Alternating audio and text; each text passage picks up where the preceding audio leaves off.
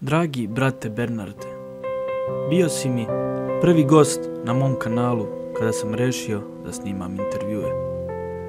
Toliko si bio spontan i otvoren. Ponašao si se kao otac i svima si izlazio u susret. Mnogo mi je žao što se tiče tebe, ali jedno sigurno znam.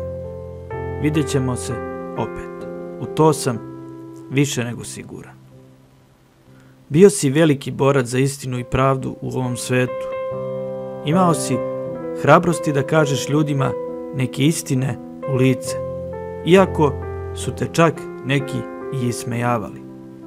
Ali ti si čvrsto bio ubeđen u ono što radiš i zbog toga su ljudi u tebi prepoznali čoveka otvorenog srca i iskrenog tražitelja za istinu.